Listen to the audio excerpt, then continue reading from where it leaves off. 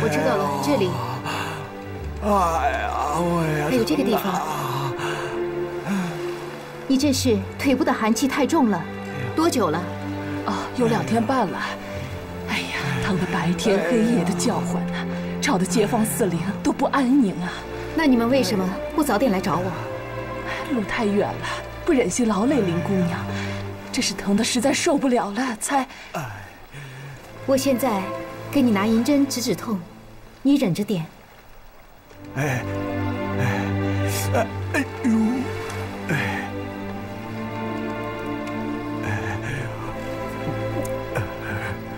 怎么样啊？啊，感觉好些了吗？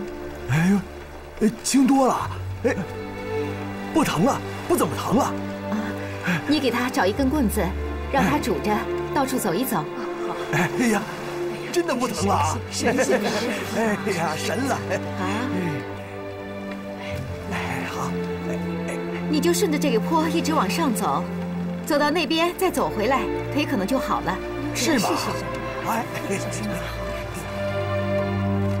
哎，这位大婶，你不用扶他，让他自己走好了。啊，让他自己吧。哎，不疼了，真神了啊！神仙呢？哎，从这儿上去啊！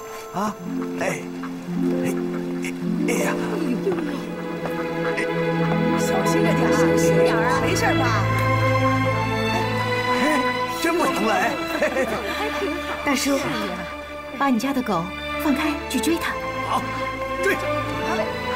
仙姑啊，这不会给咬坏了吧？你放心，不会有事的。你看着吧。是的狗啊！快来打呀！要出人命了！别追！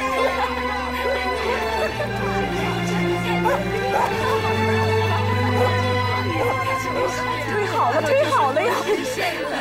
哎呦，谢谢神仙呀！谢谢仙姑啊！谢谢仙呐！谢谢仙姑，谢谢。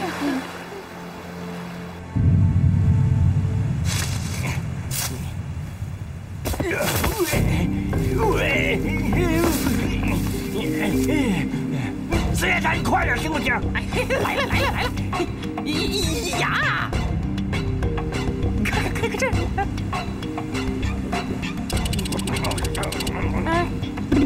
哎哎嘿，好了！哎哎，你个死夜叉，穿上打鱼佬的衣服，还真像那么回事说说说说什么呢你？哎，人靠衣装，马靠鞍，穿上龙袍，我还像龙王爷呢！嘿，你像龙？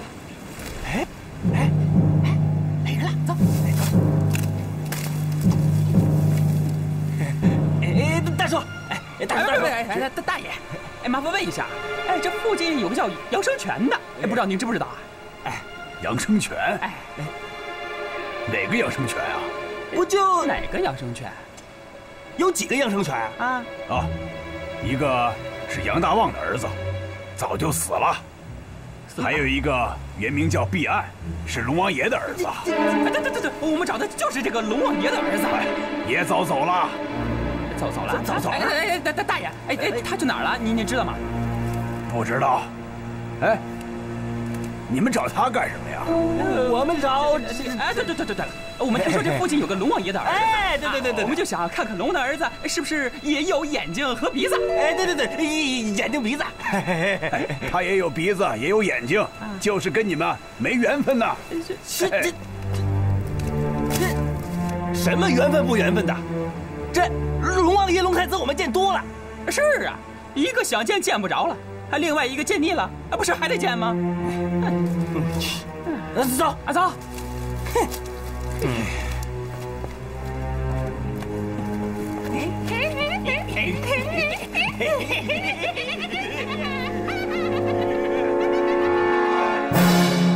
嗯，这饭做的挺好的。干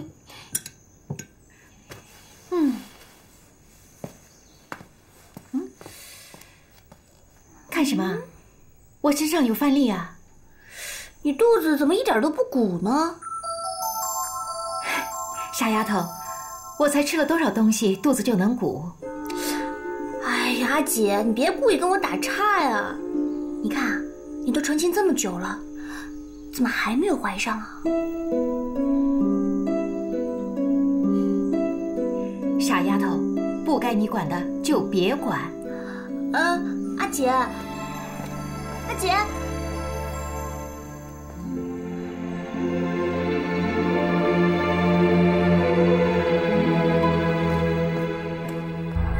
什么？碧岸跑了？是啊，这不知道跑哪儿去了。这么说，他确实活着。呃，算他命大。呃，可是他确实没死。你们接着找，就算是海底捞针，要把他给我找出来。嗯，可是这茫茫人海，我们上哪去找啊？那是你们的事。我告诉你们，碧岸活着，不仅对我不利，他更是悬在你们头上的一把剑。哎，是。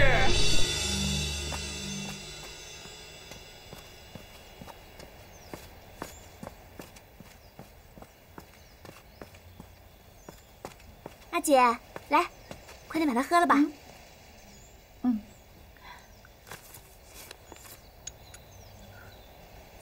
嗯。这什么呀？这么苦，跟药一样。这就是药啊。你给我喝药干什么？我又没有病，你要害我呀？阿姐，你怎么会没有病呢？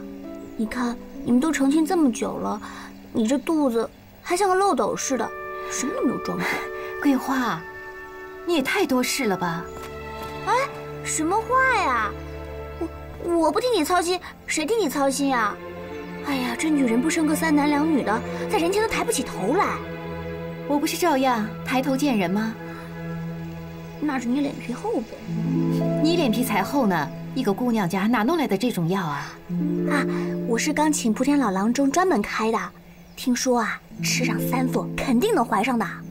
你忘了？我就是专门给人家看病的，那铁拐李葫芦里的药还医不好自己的瘸腿呢。把这药倒了吧，我才不会喝呢。不行，阿姐，这药一两银子一副呢，你你就说吧，你不心疼你的身子，我还心疼那银子呢。阿姐，你赶紧喝了吧啊！我就是把这药铺的药都喝了，我也生不出一男半女的。啊？你你生不出？你没病？姐夫有病啊！哎呀，我全明白了。你明白什么呀？不许这么跟宗伦说去啊！哎，阿姐啊，你别着急啊，现在病根完全找到了。你呢，肯定是不好意思去看郎中，姐夫呢也羞于启齿。可是我脸皮厚啊，我去找郎中开几副药，到时候让你们喝上，你们肯定能早生贵子。哦不不不不，再晚，再晚也能生贵子。桂花。你姐夫没病，我也没病，我们都很健康，你就别瞎操心了。你们都很健康，那谁有病啊？难不成我有病啊？这也挨不着边啊！怎么回事？你呀，别想那么多了。那些老来得子的，难道一定都有病吗？阿姐，我是替你为吴家传宗接代操心，你。我看，你还是把它喝了吧，啊？好吧，我跟你说实话。默娘。哎哎，姐姐姐姐夫，你别打岔啊！哎，阿姐快点跟我说实话吧。宗伦。哎呦，阿姐，呃，姐夫你就回避一下吧，我们在谈些女人的事情。阿姐你快说吧，啊？行，那我回避一下。你别走，这有什么好回避的？这不是什么见不得人的事，桂花，是操心你我为什么没有孩子。古人说命中无子不可强求，可这皇帝倒有三宫六院御医成群，可老天爷不给他孩子，他也没有办法。更何况是县里的那些郎中。阿姐，古人有云不孝有三，无后为大呀。你就说这吴家是个大户人家，你不为人家传宗接代。这怎么对得起列祖列宗呀？桂花，不跟你说了，我要去救人。啊！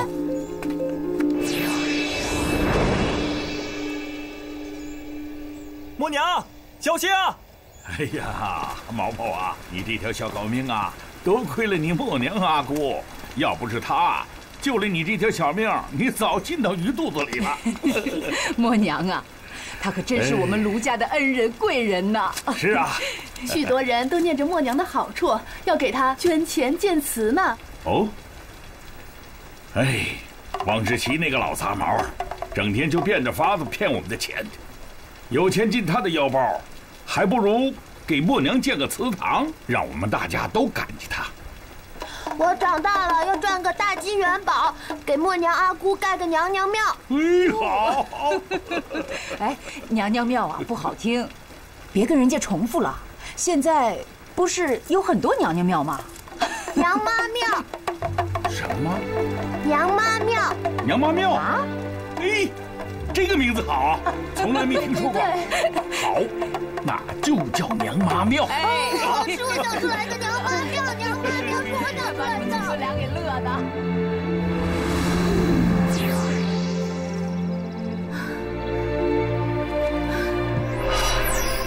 宗伦，桂花，哎，默娘，怎么这么久才回来？没受伤吧？姐，你没事吧？没有，累死我了。快坐，快坐阿姐，我给你泡杯茶啊。歇会儿。没事吧？没事没事没事，我没事。阿姐，这次遇险的人是不是特别难救啊？我跟你们说呀，我今天遇到一艘外邦船，哦，它在浅滩搁浅了，那么大那么沉，我真是费尽了我所有的法力，终于把它给推出浅滩了。结果船倒是解困了，出来了一个留着很长的胡子的船长，对我叽里呱啦的叫，我也听不懂外邦语啊，他就跟我比划，好像是这么长的一个东西丢了。哦，我说好好好，我知道了。然后呢，我就继续在沙滩上，在海里面找出来一个这么长的木桨，然后他就一直对着我啊！哦，我说那是鱼篓啊！啊，明白了明白了，你等着啊！他说的是 no，no 的意思就是不的意思，不是你所说的鱼篓的篓。可不是嘛！结果我费尽了力气在海底捞出来一个破鱼篓，哦，他一看啊，直接就晕过去了。哎，那他们到底丢的是什么啊？哎呀，后来啊，我又在海里面给他们捞出了一个大概这么长的蜡封的圆筒子。哦，哎，宗伦，上次你访外邦的时候，我不是救过一个这样的东西吗？那就是他们的国书。哦，diplomatic。啊？什么？哦，我说的是国书。默娘，你这次救的可是外邦来我朝出访的大使啊，你可以说是为大宋又立了一大功啊。哇，阿姐，你真是了不起啊！我有什么了不起的？纵伦，我在想啊，将来我朝与外邦交往的机会越来越多了，通商通航肯定也会日益频繁。将来我在海上就会救一些外邦人，我得学会外邦语啊。纵伦，不然你教我吧。哎，这个好啊！我之前以为啊，我辞去了那外使之职，以后啊，之前所学的所有外邦之语就没有用了。哎，没想到今日啊，我倒可以收个门徒了啊！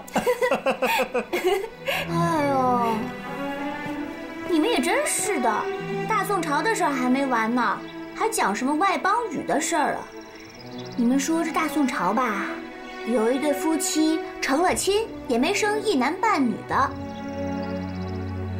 好心人啊，劝他，他还听不进去。我说桂花，你也不想想，我成天在海上救险，我要是挺着一个大肚子，我怎么救人呢？将来我要有了孩子，哦哦哦，正在哄他的时候，海上又发生事情了，我把孩子一扔，那孩子不就饿着了？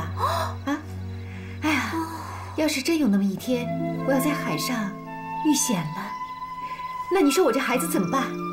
默娘，哦，对呀，哎，但是吴公子是三代单传呀，你为了你的事业不生孩子也罢，那总得给吴公子找个二房吧？哎，你这个主意好，是吧？桂花，你就别再添乱了。我告诉你，你先考虑好你自己的事情，你呀、赶紧找个人嫁了，给他生一堆孩子。哎，到时候啊，我们挑一个孩子，让我们抱着，那我们两个那就完美了啊！好啊。啊，我觉得呀，这个主意也好。哎，这个不行，阿姐，你就说吧，你这样一块良田，都宁愿荒废了，我这块薄地还怕浪费吗？啊，阿姐，我是你的陪嫁丫鬟呀，我不嫁，我我不叫嫁，我要跟着阿姐一辈子呀，我不嫁。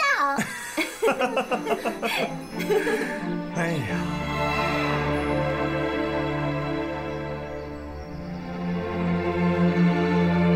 妈妈，来给观音菩萨磕头。不，我要给娘妈磕头。你给观音菩萨磕头，让观音菩萨保佑娘妈。好。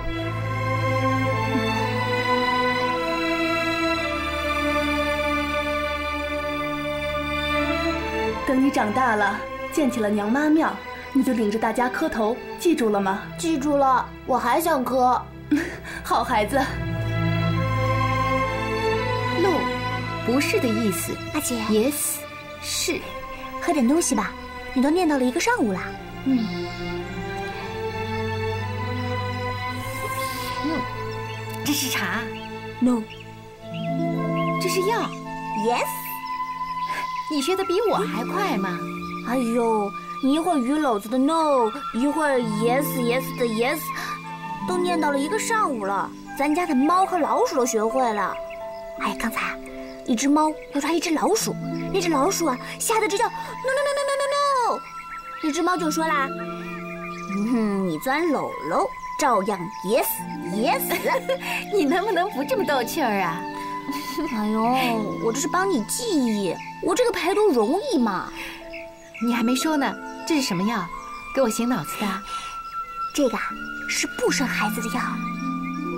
桂花，你又在瞎操什么心呢？哎呦，阿姐，你说这事儿吧，它是小事儿，也是大事儿，是好事呢，也是坏事儿。我想来想去啊，我终于理解了你不生孩子的想法。上次呢，我不是给你喝了生孩子的药吗？哎，这回啊是不生孩子的药，咱们把药性改一改。这万一一不留神你要是怀孕了，那该怎么办呢？你改什么药性啊？我比你懂药理。哎呦，我我知道你是懂的，可是你要是一时疏忽了，再加上一时冲动，留下了后患，你哭都来不及呢。你说你一个姑娘家都还没成亲，怎么什么都懂啊？嗯，这事儿是无师自通的嘛。哎，你说这孩子生下来以后会喝奶，这用得着教吗？哼。哎呀，你生孩子这事儿呢，我帮你想着；你不生孩子这事儿，我帮你盯着。好了好了，先把这药喝了啊，之后啊。你和姐夫就可以大胆的该干嘛干嘛啊！你也继续你的 yes low 啊，嗯、我继续我的 yes low。这个药你也别再让我喝了。啊，啊阿姐，beach，海滩，business。默娘，你学的够快的了。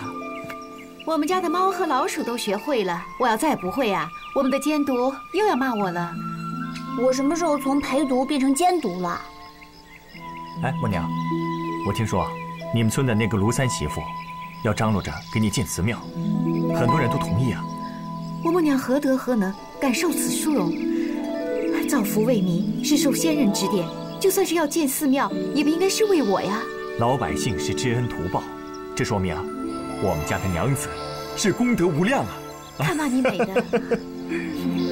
我要去阻止大家，不能这么做。举手之劳，回报桑梓，于情于理都是义务，谈什么功德啊？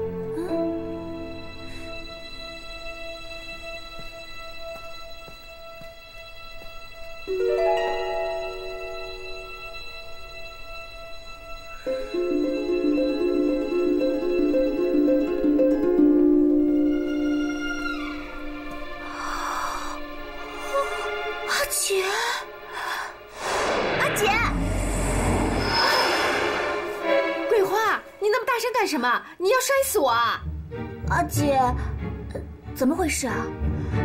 你为什么睡在墙上画里的床上啊？你呀，你进我和宗龙的房间，怎么也不敲敲门啊？我看到姐夫一早出去了，所以我进来打算收拾一下东西，拿件衣服去洗呗。哎呀，你怎么睡在墙上呢？啊？那那什么，呃，我我是在练功，我要不练功，我怎么有本事去救人呢？哼，你就编吧，我看你还能编出什么花样来。哎，我终于知道你为什么一直没有怀孕，原来你们是这样做夫妻的。我就实话告诉你吧，我根本不想怀孕。哎呦，阿姐，你不想怀孕，你跟我说实话嘛，害得我一会儿给你抓生孩子的样，一会儿给你抓不生孩子的样。哎，你看你看，我腿都跑细了。那还不是怪你自己多事。其实我早就感觉不对劲了，每次你们换衣服都避着对方。哼，这下我全明白了，原来你们压根儿就不是夫妻啊！这个吴宗伦，他太可恶了，跟你成亲这么长时间，他竟然一直把你挂在墙上啊！不行不行，我找他算账去！哎，桂花，阿姐，你这是干嘛呢？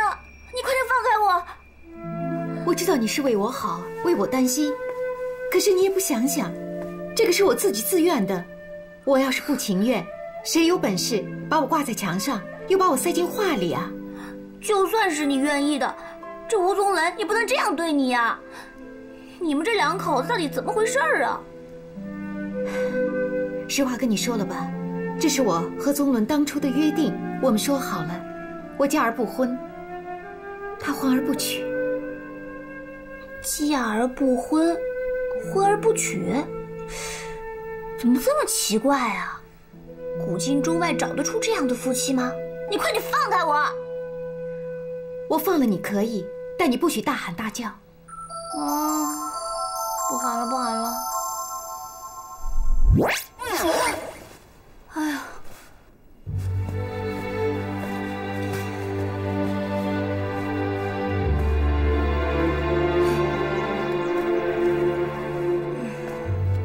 小猪啊，嗯，你别总在屋里转圈啊，像老牛拉磨似的。娘，你不懂，我阿娘跟我说呀，这个孕妇快生产的时候要多走动走动，这样才能顺产呀。哎，要不我陪你去汪府的后花园转转？哎，算了吧，汪府的各个角落我都溜达遍了。这么着吧，为了咱们的孩子，我舍命陪君子，陪你上街转转。走。哎呀，算了算了，我可不是什么君子，我只是你的娘子啊，你不用舍命陪我。再说了，你的腿又不好，咱们俩一起上街，是我照顾你啊，还是你照顾我啊？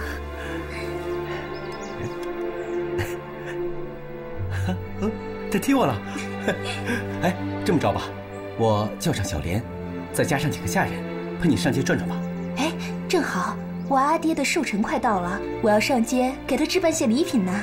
好，好，我叫上小莲啊，等我一下。小莲，少爷，你有什么吩咐？叫上几个下人，陪少奶奶啊上街去转转。是，少爷。少奶奶，咱们走吧。哎，哎，记着，一定要照顾好少奶奶。是少爷，去吧。少奶奶，您慢点哎，嫁而不婚，婚而不娶，什么呀？你们，你们这是想得出来！哎呀，桂花，你小声一点。来来来来来，喝点水啊，消消气。嗯，你耍来这一套，我管不了你了。我得告诉阿爹去，让他知道你每天晚上都是在桥上睡的。你跟吴宗伦根本就是名义上的夫妻，根本就没有同床过。我看阿爹能不能由着你胡作非为？哎，桂花，回来！我的姑奶奶，你坐下。你千万别跟阿爹说啊！你是要让他担心吗？你也知道他会担心你啊！你还不如妙珠阿姐呢。她虽然嫁了个瘸子，白天过着非人的生活，那晚上也能过着正常人的生活呀，也真真切切的做了一回女人呢。可你呢？你这白天晚上都过着非人的生活啊！我怎么白天晚上都过着非人的生活了？我跟尊伦相敬如宾，这相敬如宾才出事呢。哎，你说吧，这夫妻之间吵吵闹闹、有哭有笑的，那才是正常的日子呀。像你们这样虚虚假假的，还能坚持这么久，你真是仙女神女，比那王母娘娘还神呢。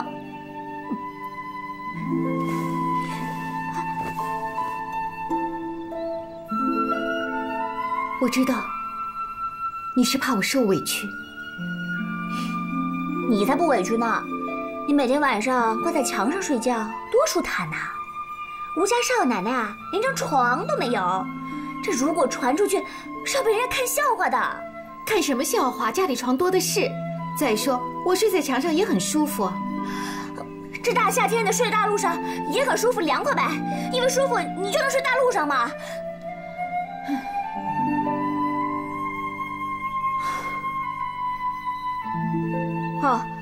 现在一有人叫林姑娘救我，哎，你飞得比老鹰还要快呢。哦，我记得了，有一次啊，有一个醉汉喝醉了酒，不小心上茅房呢，掉进了粪坑里。哎，他一大叫林姑娘救我，你就飞出去把人家给救了。结果啊，弄得自己一身臭烘烘的，哎呀连家门口都不敢进，在门口大喊桂花救救我，害得我。连人带衣服给你洗了大半夜，你这么能，要我救你干嘛呀？我哪有你能啊？你的嘴都能离地了。还有一次，有一对男女私通，按照村里的村规呀，就应该把他绑尸沉海。他也大叫林姑娘救我，哎，你还真飞出去把人家给救了。那些村民们碍于你的面子，只能对他网开一面。哎，你说这好人也就罢了，什么乱七八糟的人都去救。哎，怎么救得过来呀你？桂花，你这个徒弟怎么一点进步都没有啊？我不是跟你说过要大爱，而不是带有个人看法的小爱吗？哟，我还真扯远了哈。哎，我刚讲到哪儿了？啊，对对对对对，你呃，你就说那个私通的女人吧，她因为男欢女爱之事啊，冒着被绑尸沉海的危险都要去做。但是你是吴宗伦的妻子啊，怎么能天天睡在墙上呢？哎呀，哎呦我的妈呀，这总算总算是绕到正题上来了哈。桂花，你这个刀子嘴豆腐心，你在絮絮叨叨的絮叨我的时候，我就知道你气都消了。阿姐，还是你最了解我。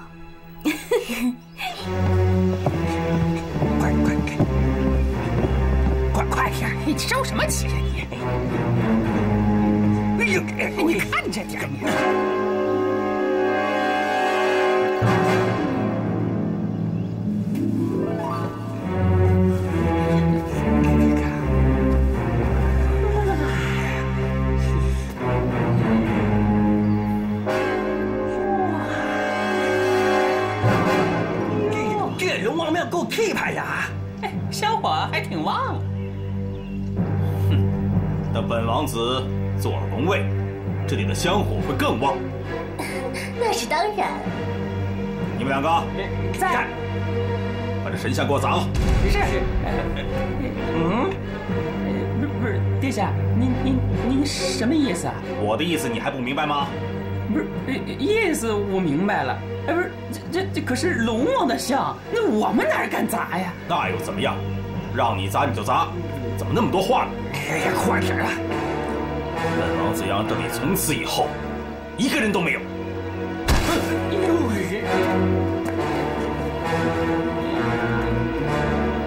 砸呀！砸了，砸了！反正是他也不是咱的。嗯，砸，那就砸吧。你。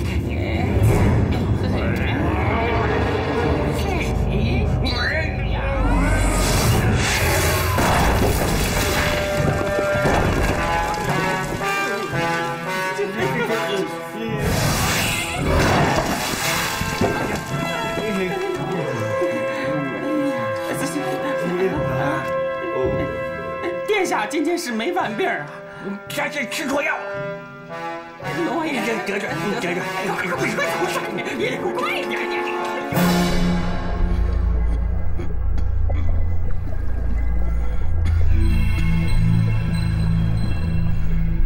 启禀父王，人间有个渔家女，叫林默娘。此妖女仗着有点功夫，在海上救过几次人，治过几次病，就骗得那些老百姓对他是一片颂扬之声。父王，最近听说还会有人给他盖庙、祭奠、供奉香火。人间的事自有人间的皇帝去操心，我龙王只管东海的事啊。我可父王，林默娘已经严重威胁到您的威望和影响。她的庙宇要是建成了，渔民肯定去她那里烧香，将来老百姓可能就把您给忘了。还用得着将来吗？他现在已经开始动手了。他把父王的塑像砸得那是惨不忍睹啊！父王，那庙里的香火早就断了，连只野狗都懒得进去。一个区区的渔家小女，啊，竟敢和龙王分庭抗礼，争夺香火，实属大逆不道！哼！林默娘，她竟如此大胆！父王，这个妖女是天不怕地不怕呀。嗯。想当年老四偷点乾坤大法，走火入魔，现出原形，就是这个妖女从我手中抢走的。可怜啊，老四被这一家人分而食之。父王，这是咱们东海龙宫的死对头，老冤家呀！几千年来，渔民一向对孤王毕恭毕敬，他真不把我放在眼里。父王，父王，这个妖女也不知道从哪儿弄了几件厉害的法器，实在是难对付呀。父王，你要是不相信的话，要不然您亲自去看看。哎，你听说了吗？听说什么呀？湄洲岛有个林姑娘，听说神通广大啊。林姑娘，那我熟得很。我告诉你，那个林姑娘是我们渔村林苑阿叔家的女儿，我从小和他一起长大的，熟悉的很。真的？是啊那你可太了不起了。你有为难事啊，只要大声喊“林姑娘，快来救我”，林姑娘就会从天而降。那不比龙王爷还灵啊？龙王爷啊，有时管事，有时不管事。林姑娘多好啊，那是有求必应。那回头我也拜拜林姑娘。对啊，走。林姑娘可比龙王爷强多了。是，龙王爷现在什么都不管呢。哎，你别扔啊！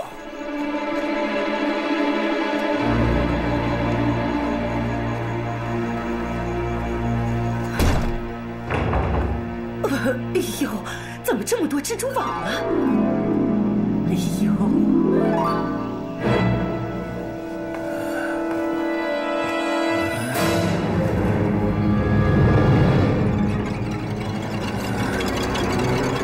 爱妃，你看，好啊，啊，这就是供奉了我几千年的地方，破败不堪呐、啊！一支香都没有，就剩下香瓣儿了，气死我了，气死我了！啊，龙王，龙体要保重啊！这些渔民那是胡言乱语，你千万别往心里去呀！啊，别往心里去啊！就这几个渔民，那是喜新厌旧。哎呦，哎，他们是只见新人笑，不见旧人哭。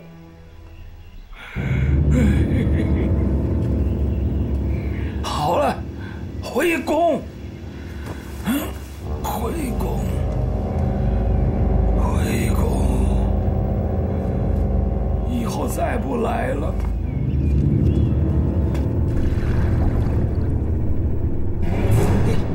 父王，父王，你回来了。快请快请！你说累了？孩儿说的没错吧？啊，是吧？啊，哎，确实是不像话。你看，香炉也踢了，把塑像砸得稀烂。这个妖女啊，实在是可气。太可气了！林默娘该死！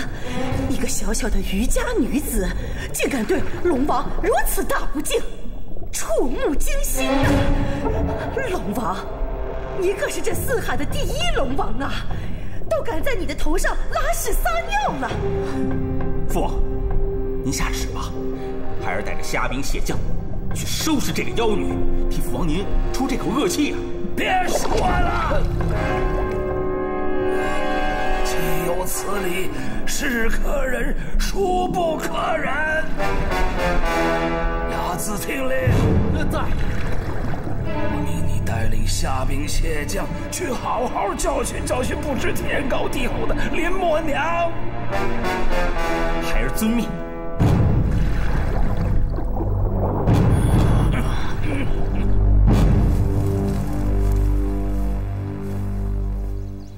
桂花啊，过些天我和宗伦要回梅州岛给阿爹拜寿，你啊就在家看家吧。这什么意思啊？守屋看家有梁叔呢，给爹拜寿，我怎么能不去呢？我得尽一份孝心。我怕你呀，不是去给阿爹尽孝心，而是让阿爹闹心。你不行，我要去。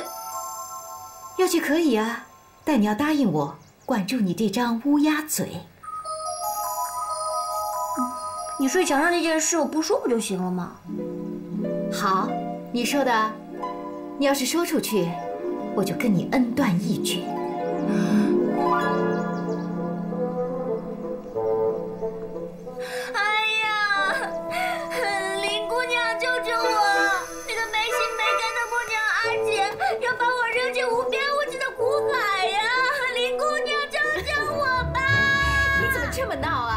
起来！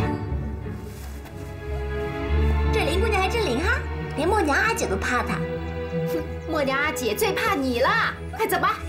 最近呢，我要出趟公差，啊，这两天我就要和师爷出发了。小凡呐，你要对妙珠好一些，你这要做父亲的人了，你得立誓啊。知道了，阿爹。啊，公阿爹，过几天就是我阿爹过六十寿辰了。我本来想回去湄洲岛去给我阿爹过寿辰，可是你这一走，哎呀，这事情都赶在一块儿了。哈哈，应该的。这阿爹走了，师爷也走了，这你再一走，那我怎么办呢？那我爹过寿辰，我不回去也不合适啊。娘子，要不你跟我一起回去吧？你这个当女婿的也应该给岳父过个寿呀。我不去，让人家笑话我这条残腿，我我丢不起这个人。可是，呃，阿朱啊，你看小凡他他不愿意跟你走，他又舍不得离开你。嗯，你看你这身子又不太方便。我这边呢，公务繁多，又不敢耽搁，你就做点牺牲，给你阿爹写封信，说明一下这些情况，我再备份厚礼，我让人啊给送过去，你看行不行啊？行吗？好吧，嗯，就听公阿爹的吧。好孩子，好孩子。